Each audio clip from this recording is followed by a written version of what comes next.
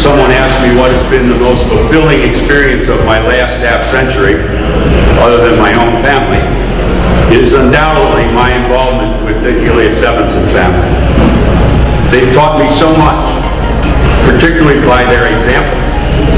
Their example of integrity, patience, passion, wisdom, and of course, leadership. They've inspired me by the trust they've placed in me.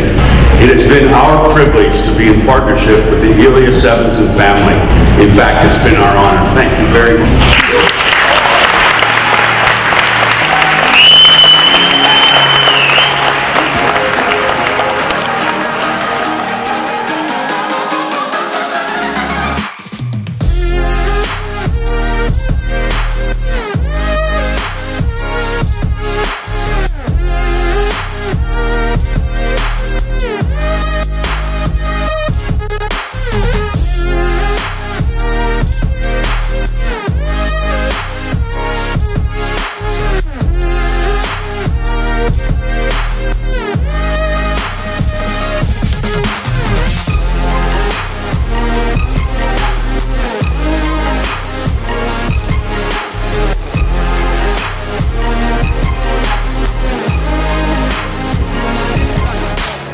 Know, when Perry Novak put that up on that video, it's the simplest of words. It says, "To be continued." And we're going to keep doing what we're doing.